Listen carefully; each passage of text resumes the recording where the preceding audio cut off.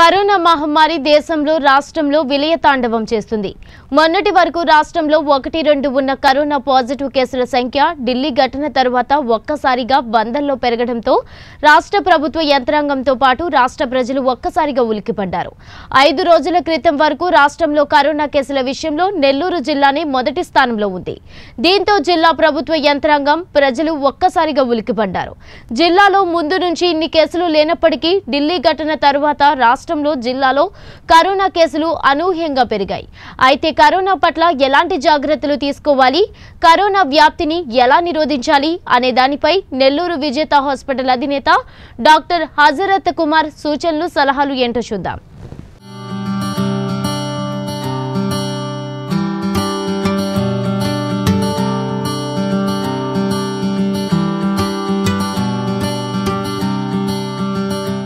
Corona virus. Nellore జిల్లాలో ముప్పై నాలుగు కేసులు నమోదయ్యి నెల్లూరు జిల్లా రెడ్ జోన్గా ప్రకటించారు. ఆంధ్రప్రదేశ్లో నెల్లూరు జిల్లా కర్నూలు ఇటు చాలా జిల్లాలు చాలా రెడ్ జోన్లో జరి చేరిపోయాయి. ఈ కరోనా వైరస్ అనేది అసలు ఎక్కడి నుంచి ప్రాబ్లం స్టార్ట్ అయింది అసలు ఏ విధంగా స్టార్ట్ అయింది దాని ఫండమెంటల్ స్టేజ్ నుంచి ఏ డాక్టర్స్ దానికి చికిత్సలోకి వస్తారు ఇవన్నీ పూర్తి వివరాలు అడిగి విజేత హాస్పిటల్ డాక్టర్ హజరత్ కుమార్ గారిని అడిగి పూర్తి వివరాలు తెలుసుకుందాం. నమస్తే అండి. నేను doctor Hazrat Kumar MBBS MS ophthalmologist అండి. నేను నెల్లూరు జిల్లాలో సుమారు పంతొమ్మిది సంవత్సరాల నుంచి అనేక హాస్పిటల్స్లో ఐ సర్జన్గా వర్క్ చేస్తున్నాను. ఈ సందర్భంలో నేను చాలా ఫీల్డ్ మీద వైద్యంకి సంబంధించి ప్రజలకు అవగాహన సదస్సులు ఐ క్యాంప్స్ ఇవన్నీ కండక్ట్ చేయడం జరిగింది ఈ పంతొమ్మిది సంవత్సరాల్లో. ఆ విధంగా ప్రజలకు ఎప్పటికప్పటికీ మేము అవేర్నెస్ కల్పించాం కంటి వైద్యం సంబంధించి. అయితే ఈరోజు ప్రపంచాన్ని గడగడలాడిస్తున్నటువంటి ఈ కరోనా వైరస్ గురించి ప్రజలకి కొంచెం నాలుగు మాటలు చెప్పాలని నా నా వంతు నేను మీ ముందుకు వస్తున్నాను. ఈ కరోనా వైరస్ అనేది సహజంగా జంతువుల్లో ఉంటుందండి ఇది. కొన్నిసార్లు మనుషుల్ని కూడా ఇన్ఫెక్ట్ చేసే ఛాన్స్ ఉంది. అయితే ఆరేడు రకాలు కరోనా వైరస్లు మనుషుల్ని ఇన్ఫెక్ట్ చేసే అవకాశాలు ఉన్నాయి గతంలో సాధారణ దగ్గు జలుబు అనేది రైనో వైరస్ అనే దాంతో వస్తుండేది. కొన్నిసార్లు నార్మల్ కరోనా వైరస్ తోటి కూడా కొందరిలో దగ్గు జలుబు వచ్చేటివి. అయితే అవి ఒక నాలుగు రోజులు ఐదు రోజులు పేషెంట్ని ఇబ్బంది పెట్టి తర్వాత పూర్తిగా సబ్మిసివ్ అయిపోయేటివి. ఈ వైరస్ అనేది ఇది ఒక ఆర్ఎన్ఏ వైరస్. ఇది ఒక లైపోప్రోటీన్ పార్టికల్ మాత్రమే. ఈ లైపోప్రోటీన్ పార్టికల్కి కొన్ని ప్రొజెక్షన్స్ ఉంటాయి. అంటే దాన్ని పెప్లోమెర్స్ అని కూడా అంటారు. ఈ మైక్రో ఆర్గానిజము ఈ లైప్రోప్రోటీన్ అనే ఈ మాలిక్యూలు ఆర్ఎన్ఏ వైరస్ బయట అట్మాస్ఫియర్లో కొన్ని గంటలు మాత్రమే జీవంతో ఉండగలుగుతుంది. దానంతటా అది ఎక్కడికి వెళ్ళలేదు. ఒకరి నుంచి ఒకరికి యాక్సిడెంటల్గా స్ప్రెడ్ అయితేనే దాని ప్రభావం చూపగలుగుతుంది. అయితే ఇంతకుముందు మనం అనుకున్నట్టు ఈ ఆరేడు రకాల కరోనా వైరస్లో రెండు వేల మూడులో సార్స్ వైరస్ అనేది ఉద్భవించింది. అంటే మ్యూటేషన్స్ జరిగి ఒక కరోనా వైరస్ దాంట్లో మ్యూటేషన్స్ జరిగి సార్స్ వైరస్గా మారింది. ఈ సార్స్ వైరస్ అప్పుడు ఇరవై ఐదు ముప్పై దేశాల్లో దాని తీవ్రత చూపెట్టి చాలామందిని ఇబ్బంది పెట్టింది. అప్పుడు జబ్బులు రావడానికి కారణమై కొందరికి ప్రాణాపాయం కలిగించింది అప్పుడు ఆ ఇరవై ముప్పై దేశాలు ఆ జబ్బుని సక్రమంగా ఎదుర్కొని ప్రజల సహకారంతో ఆ జబ్బును పూర్తిగా రూపుమాపారు. మళ్ళీ రెండు వేల పదమూడులో మెర్స్ అనే ఒక రకమైనటువంటి కరోనా వైరస్ మిడిల్ ఈస్ట్ కంట్రీస్లో వచ్చింది. అప్పుడు సౌదీ అరేబియా ఇలాంటి దేశాలు ఆ జబ్బుతోటి బాగా ఇబ్బంది పడ్డాయి. అయితే అది కూడా ఒక సంవత్సరం రెండు సంవత్సరాల్లో అక్కడ వైద్య రంగము అక్కడ సిబ్బంది ప్రజలు గవర్నమెంట్ల సహకారంతో దాన్ని పూర్తిగా రూపుమాపారు. కానీ కొత్తగా రెండు వేల పంతొమ్మిది నవంబర్ డిసెంబర్ కాలంలో చైనా దేశంలో వుహాన్ అనే నగరంలో యానిమల్స్ నుంచి మళ్ళీ మ్యుటేషన్స్ ద్వారా కొంచెం మార్పు జరిగి యానిమల్స్ నుంచి మనుషులకి ఈ వైరస్ సా- వచ్చింది. దీన్ని కోవిడ్ నైన్టీన్ అని పిలుస్తున్నారు ఇప్పుడు. ఈ కోవిడ్ నైన్టీన్ అనేది ఈ వుహాన్ నగరంలో యానిమల్స్ నుంచి మనుషులకు వచ్చిన తర్వాత మనుషుల నుంచి మనుషులకి పాకడం మొదలుపెట్టింది. ఇది సాధారణంగా చల్లటి వెదర్లో ఎక్కువగా పాకే అవకాశం ఉంటుంది అని శాస్త్రవేత్తలు చెప్తున్నారు. ఎప్పుడైతే అక్కడ ఒకరి నుంచి ఒకరికి స్ప్రెడ్ అయిందో ఆ తర్వాత విమానాల ద్వారా ఎవరైతే తక్కువ సిమ్టమ్స్ లేదా సిమ్టమ్సే లేని ఈ వైరస్ ఉన్న మనుషులు ఇతర దేశాలకి దీన్ని స్ప్రెడ్ అయింది. ఇతర ఇతర దేశాలకి ఈ మనుషుల ద్వారా స్ప్రెడ్ అయింది. ఎప్పుడైతే ఇతర దేశాలకి ఇది స్ప్రెడ్ అయిందో ఎక్కువగా వాళ్ళకి తెలుసుకునే లోపలే ఇది ఒకరి నుంచి ఒకరికి ఒకరి నుంచి ముగ్గురికి ముగ్గురు నుంచి తొమ్మిది మందికి అలాగా పెరుగుతూ వెళ్ళిపోయి ఈరోజు ప్రపంచాన్ని గడగడలాడించే ఒక ప్రపంచ యుద్ధంలాగా తయారైంది. ఎలాంటి వెపన్స్ ఏమీ లేకుండానే ఒక కనపడని ఒక సూక్ష్మ జీవితోటి ప్రపంచమంతా పోరాడాల్సిన పరిస్థితి ఈరోజు వచ్చింది. సో ఇది కోవిడ్ నైన్టీన్ గురించి కొన్ని మాటలు. అయితే ఈ కోవిడ్ నైన్టీన్ అనేది ఒకరి నుంచి ఒకరికి ఎలా వెళుతుంది అనేది కూడా మనం ముఖ్యంగా చెప్పుకోవాల్సింది.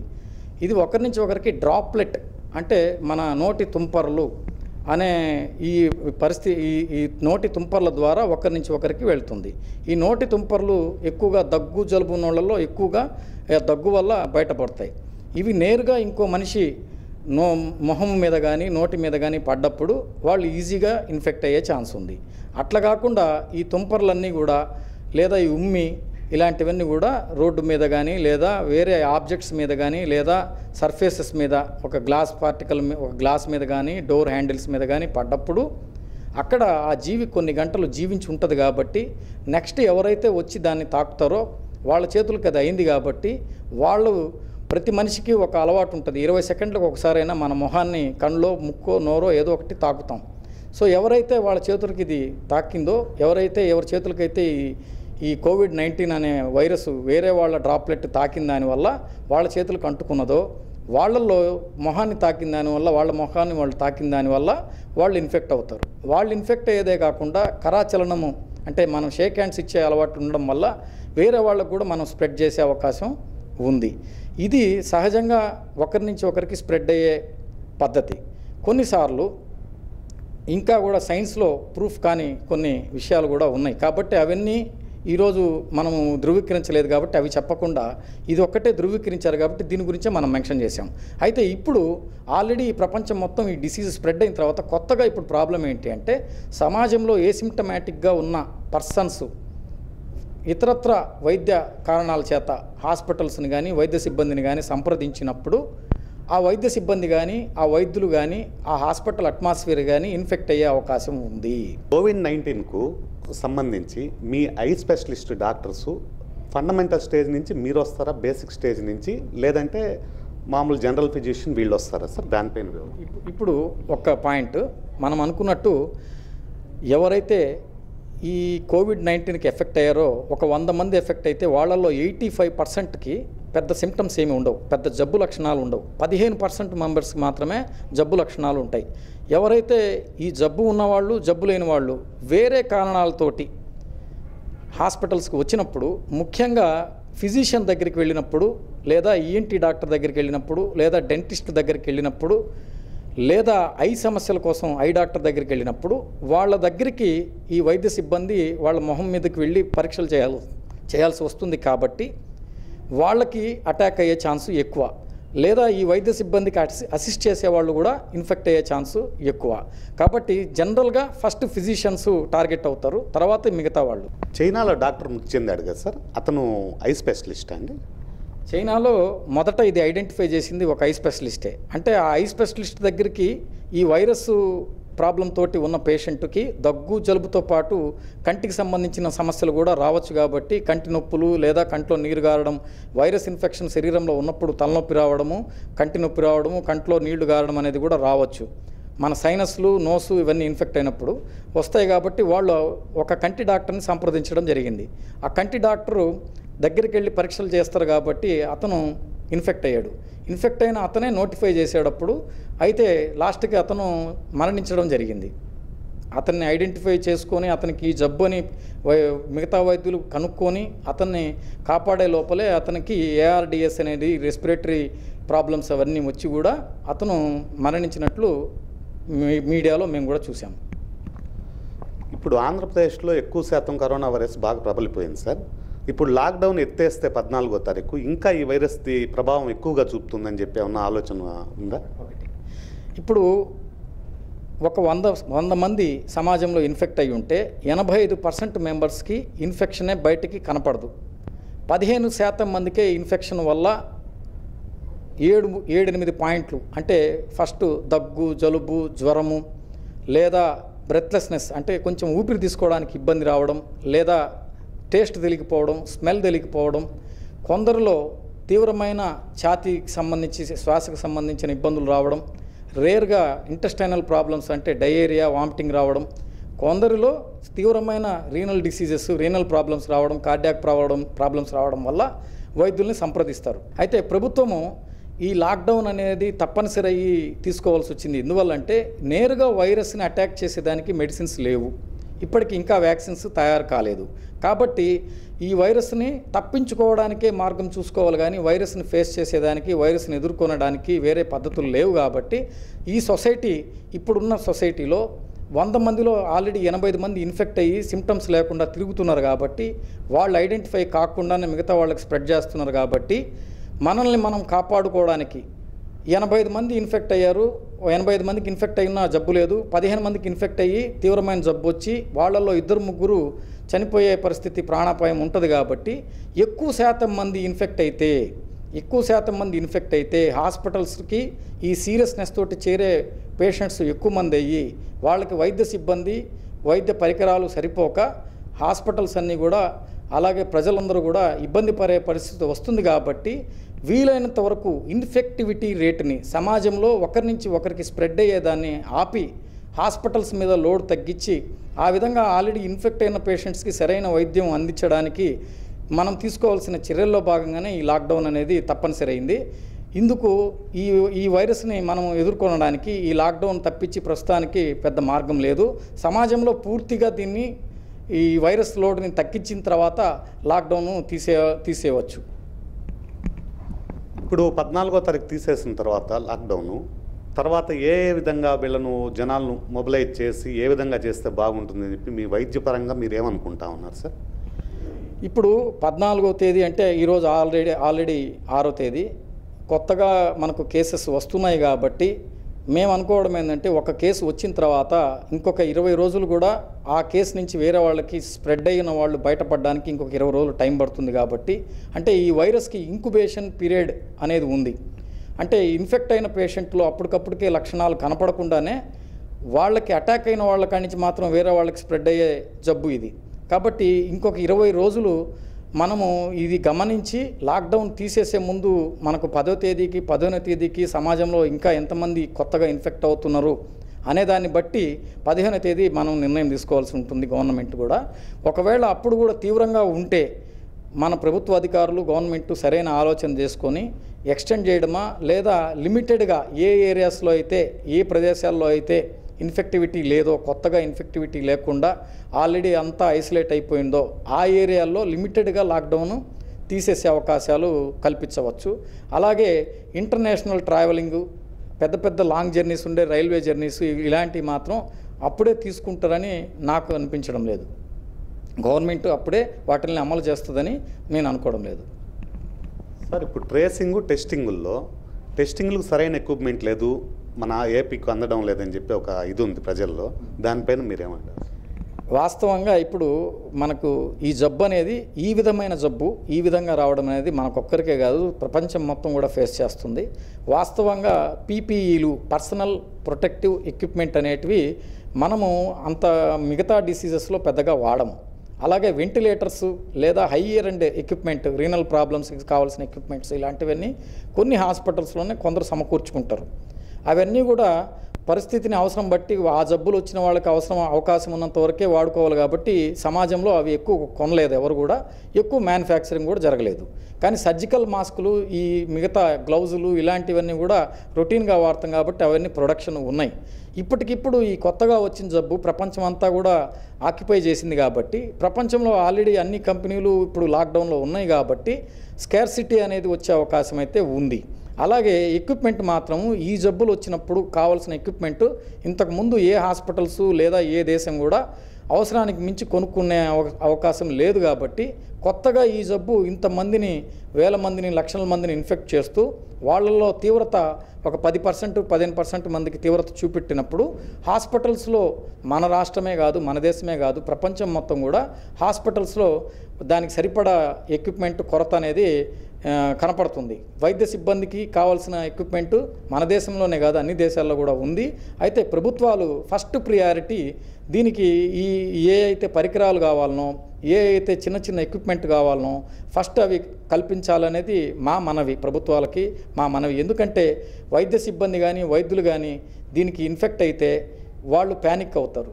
అలాగే ఇన్ఫెక్ట్ అయినా అయినా కాకపోయినా వాళ్ళు మళ్ళీ పదిహేను రోజులు వాళ్ళ కుటుంబాలకు దూరంగా ఉండే ఐసోలేషన్లో ఉండాల్సిన అవసరం అయితే ఉంది. అలాంటి పరిస్థితుల్లో లిమిటెడ్గా ఉన్న ఎక్విప్మెంట్ లిమిటెడ్గా ఉన్న వస్తువులు లిమిటెడ్గా ఉన్న వైద్య సిబ్బందిని మనము సక్రమంగా వినియోగించుకోవాలంటే ప్రజల్లో ఇన్ఫెక్టివిటీ రేటుని మనం వీలైనంత వరకు లిమిట్ చేసుకొని ఈ ఉన్న వస్తువులతోనే ప్రస్తుతానికి పోరాడాల్సిన పరిస్థితి ఉంది. ఈ పరిస్థితి మన రాష్ట్రమే కాదు అన్ని చోట్ల కూడా ఉంది. ఇప్పుడు ఏ ఏజ్ నుంచి ఏ ఏజ్ వరకు ఈ కరోనా వైరస్ ఎక్కువ ఇంపాక్ట్ అవుతుంది సార్ ఏజ్ పరంగా. ఇప్పుడు చాలా వరకు మనం మీడియాలో మనం చూస్తున్నాం ఏంది అంటే చిన్నపిల్లల్లో రాలేదు పెద్దవాళ్ళల్లో రాలేదు ఇలాగా వస్తుంది న్యూస్. వాస్తవంగా వచ్చి ఈ వైరస్ని ఎవరినైనా ఇన్ఫెక్ట్ చేస్తుంది ఏ ఏజ్ గ్రూప్నైనా ఇన్ఫెక్ట్ చేస్తుంది. ఇక్కడ గమనించాల్సింది ఏంటంటే చిన్నపిల్లలు యాక్చువల్గా బయటికి వెళ్ళి వాళ్ళు ఈ జబ్బు తెచ్చుకునే అవకాశం లేదు. వాళ్ళు ఎంతవరకు కూడా ఇంట్లోనే ఉంటారు లేదా స్కూల్కి వెళ్ళేసి మళ్ళీ జాగ్రత్తగా ఇంటికి వచ్చేస్తారు. అలాగే ఓల్డర్ ఏ మరీ పెద్ద వయసులో ఉన్నవాళ్ళు for example seventy years seventy five years ఉన్నవాళ్ళు కూడా బయట ఏ ఆక్యుపేషన్కి వెళ్ళరు. అందువల్ల ఆ ఇద్దరు గ్రూప్స్ కూడా ఈ ఇన్ఫెక్టివిటీ నుంచి తప్పించుకునే ఛాన్స్ ఎక్కువ. ఎప్పుడు వస్తుంది? మిగతా వాళ్ళని కలిసినప్పుడు సమాజంలో ఒక సమూహంలోకి మనం వెళ్ళినప్పుడు లేదా ఒక ఒక- ఇరవై మంది యాభై మంది అటెండ్ అయ్యే ప్లేసుల్లోకి మనం పోయినప్పుడు లేదా ఇన్ఫెక్షన్ ఉన్న పేషెంట్స్కి మనం ఎదురుపడ్డప్పుడే ఇది ఇన్ఫెక్షన్ వచ్చే ఛాన్స్ ఉంది. ఇవి ఈ ఎక్స్ట్రీమ్ గ్రూప్స్ వాళ్ళు అంటే చిన్న వయసు వాళ్ళు పెద్ద వయసు వాళ్ళు వాళ్ళకి ఎక్స్పోజ్ అయ్యే అవకాశం తక్కువ. అన్లెస్ ఎవరైనా ఒక యాక్టివ్ ఫ్యామిలీ మెంబరు బయటికి వెళ్ళి ఈ వ్యాధి తెచ్చుకొని వాళ్ళ కుటుంబానికి సంక్రమింపజేస్తే తప్పించి ఈ రెండు ఏజ్ గ్రూప్స్ తప్పించుకుంటారు. అంతే తప్పించి వీళ్ళకి రాదు అనేది అపోహ. సార్ ఈ corona nineteen nine COVID nineteen ఇప్పుడు దాదాపు మెడిసిన్ కనుక్కునే లోపల one and half year two years పట్టచ్చు అని చెప్పి మీరు అనుకుంటా ఉన్నారా? వాస్తవంగా ఏంది అంటే ఒక మైక్రో ఆర్గానిజంకి ట్రీట్మెంట్ ఇచ్చేటప్పుడు లేదా దానికి సంబంధించి ట్రీట్మెంట్ వైద్య వైద్య ప్రక్రియలను కనుక్కునేటప్పుడు వాటికి ఇమ్యూనిటీ సిస్టమ్ బేస్ చేసుకొని కానీ లేదా ఆ ఆర్గానిజమ్స్ని డెస్ట్రాయ్ చేసే డ్రగ్స్ని కానీ తయారు చేయడం జరుగుతుంది. ఇక్కడ పాయింట్ ఏంటి అంటే ఈ మైక్రో ఆర్గానిజం ఎప్పటికప్పటికి దాని జీ దాని జెనెటిక్స్ని మార్చుకుంటూ దానిలో మ్యూటేషన్స్ ఎప్పటికప్పటికి జరుగుతూ మారుతూ వెళ్తుంది. సో తొందరగా కొద్ది రోజుల్లోనే ఒక నెలలోనో రెండు నెలల్లోనో దీనికి వ్యాక్సిన్ తయారు చేయడం అనేది కొద్దిగా కష్టతరమైనదే. అయినా ఇప్పటికీ చాలా దేశాలు వ్యాక్సిన్ తయారు చేసే ప్రక్రియలో ఉన్నాయి. అలాగే కొన్నిసార్లు హైడ్రాక్సీ క్లోరోక్విన్ కానీ లేదా ఈ బీసీజీ వ్యాక్సిన్ కానీ లేదా కొన్ని యాంటీవైరల్ డ్రగ్స్ కానీ కొందరిలో ఇవి పనిచేసినట్టు ఇప్పుడు మన వైద్య శాస్త్రం చెప్తుంది. కానీ ఈ జబ్బుకి డెఫినెట్ మెడిసిన్ అయితే ఇంకా ఎవాల్వ్ కాలేదు. వ్యాక్సిన్ కూడా ట్రయల్స్లో ఇంకా ట్రయల్స్లో దశలోనే ఉంది. కాబట్టి ప్రజలు ఈ జబ్బుకి ఈ జబ్బుకి ఎదురెళ్ళి ఈ జబ్బుని కొని తెచ్చుకోవడం కన్నా ఈ జబ్బు నుంచి తప్పించుకోవడమే ఉత్తమం. నెల్లూరు జిల్లా ప్రజలకు దీనిపైన సూచనలు సలహాలు ఏమన్నా ఇవ్వగలరా? సో ఈ జబ్బుని మనము ఇప్పుడుండే పరిస్థితిలో ఇది కూడా ఒక ప్రపంచ యుద్ధం లాగానే మనం అనుకుంటున్నాము. ప్రతి ఒక్క ప్రజలు ఇప్పుడు సైన్యం మామూలుగా యుద్ధం చేస్తుంది. ఇప్పుడు అలా కాకుండా ప్రతి ఒక్క మనిషి కూడా సైన్యంలో భాగమే. కనపడని ఈ మహమ్మారికి ఎదురొడ్డి ప్రతి మనిషి చేయాల్సింది వెపన్స్ ఏం వాడబడలేదు. గవర్నమెంట్లో చెప్పిన ఇన్స్ట్రక్షన్స్ని వైద్య సిబ్బంది చెప్పిన ఇన్స్ట్రక్షన్స్ని పాటించి ఈ జబ్బుకి గురి కాకుండా ఉంటే విజయం సాధించడం అనేది జరుగుతుంది. దీంట్లో prevention is better than cure అనే నానుడి ఇప్పటి నుంచో కూడా ఉంది వైద్య శాస్త్రంలో. అది ఈ జబ్బుకి పూర్తిగా వర్తిస్తుంది. ఇక్కడ ప్రివెన్షన్ అంటే కూడా పెద్ద సమస్య ఏం కాదు. ఏం లేదు. ఒక ఏడెనిమిది పాయింట్సే ఈ ప్రివెన్షన్లో ఉన్నాయి. మొదటిది ప్రతి ఒక్కరూ బయటకు వచ్చినప్పుడు సమాజంలోకి వచ్చినప్పుడు ఒక సర్జికల్ మాస్క్ కానీ లేకపోతే ఎన్ నైంటీ ఫైవ్ మాస్క్ కానీ ధరించాలి. అలాగే మన దేశంలో సహజంగా సహజంగా రోడ్ల మీద మనకు ఉమ్మేసే అలవాటు ప్రజలకు ఉంది. ఆ అలవాటు మానుకోవాలి. అలాగే ఇరవై సెకండ్లకు ఒకసారి మనం మన ముఖాన్ని తాకే అలవాటు ఉంది. అది కూడా మానేయాలి. అలాగే బయటకు పోయొచ్చినప్పుడు లేదా బయట ఆబ్జెక్షన్ తాకినప్పుడు లేదా రిపీటెడ్గా సేఫ్టీ కోసము ఒక శానిటైజర్తో కానీ ఒక మినిమం ఒక సోప్తో కానీ ఇరవై సెకండ్ల పాటు మన చేతిని రిపీటెడ్గా కడుక్కోవాలి. అలాగే తుమ్ము కానీ దగ్గు కానీ వస్తే ఈ చేయిని ఇలా ఉంచి తుమ్మల తుమ్మ తుమ్మవలసి ఉంటుంది. అలాగే ఏదన్నా చిన్న చిన్న సిమ్టమ్స్ లేదా ఏదైనా జబ్బు ఉన్నట్టు అనిపిస్తే ముందు మన ఇంట్లో వాళ్ళకి మరీ క్లోజ్గా ఉండకుండా దూరంగా ఉండి వైద్య సిబ్బందిని వైద్య సిబ్బందిని సహకారం తీసుకొని దానికి సకాలంలో ట్రీట్మెంట్ తీసుకోవాలి. అలాగే ఇంకా ఏదైనా అనుమానాలు ఉంటే మన డబ్ల్యూహెచ్ఓ వెబ్సైట్లో కూడా అనుమానాలకి నివృత్తి చేసుకోవచ్చు. వీలైనంత వరకు సోషల్ మూమెంట్స్ అంటే మనం బయటకు వెళ్ళినప్పుడు డిస్టెన్స్ మెయింటైన్ చేయాలి. కరాచలనం మానేయాలి అంటే మనం షేక్ హ్యాండ్లు ఇచ్చే పద్ధతిని మానేయడం మంచిది నమస్కారంని ఉపయోగించడం ఇంకా మంచిది. ఈ పద్ధతులతోటి మనం సమాజంలో ఒకరి నుంచి ఒకరికి ఈ జబ్బును కొని తెచ్చుకోకుండా తప్పించుకోవచ్చు. కాబట్టి ప్రజలందరూ ఇది మనసులో పెట్టుకొని జాగ్రత్తలు పాటించాలి. ఇప్పుడు మనం విజేత హాస్పిటల్ హజరత్ కుమార్ గారితో ఫేస్ టు ఫేస్ మాట్లాడాము. ఆయన సలహా సూచనలన్నీ తీసుకున్నాము. దాన్ని బట్టి చాలామంది ఆయన చెప్పిన సలహా సూచనలు పాటిస్తే కరోనా వైరస్ని నియంత్రించవచ్చు దగ్గరికి దరిచేరకుండా నియంత్రించవచ్చు అని చెప్పి చెప్పుకొని వచ్చాడు. కానీ ఇంతవరకు ఎటువంటి మందులు కనుక్కోలేదు. దాదాపు ఈ మందులు కనుక్కుంది ఇదంతా లోపల టూ ఇయర్స్ పైన పట్టచ్చు. దానివల్ల మన శుచి శుభ్రత మనమే కాపాడుకుంటూ శానిటైజరు గ్లౌజులు అన్నీ వాడుతూ తీసుకొని వచ్చేదాన్ని బట్టి మన మన ప్రవర్తనలోనే మన ఇదిని బట్టే మన జీవితాలు మన పిల్లల జీవితాలు అన్నీ ఆధారపడి ఉంటాయని డాక్టర్ హజరత్ కుమార్ గారు చెప్పుకొని వచ్చారు. అంటే tracing treating testing. Testing treating బాగుంది. కానీ ట్రేసింగ్లోనే విఫలం కావడం వల్ల దాదాపు ఈరోజు నెల్లూరు జిల్లాలో ముప్పై నాలుగు కేసులు నమోదయ్యాయి. ఇదే విధంగా ఆంధ్ర రాష్ట్రంలో రోజు రోజుకి వైరల్గా చాలా వైరల్ అయిపోయి అధిక సంఖ్యలో పాజిటివ్ కేసులు నమోదు కాబడతా ఉన్నాయి. డాక్టర్ హజరత్ హజరత్ కుమార్ గారి సలహాల మేరకు ఈ విధమైన మనం శానిటైజర్లు మాస్కులు అన్నీ వాడి శుచి శుభ్రతగా ఉంటే చాలా వరకు కరోనా కో- కోవిడ్ నైన్టీన్ని దూరంగా పెట్టచ్చని చెప్పి డాక్టర్ హజరత్ కుమార్ గారు భావించారు. కెమెరామెన్ ప్రణీత్తో జనార్దన్ నైన్టీన్ న్యూస్ నెల్లూరు.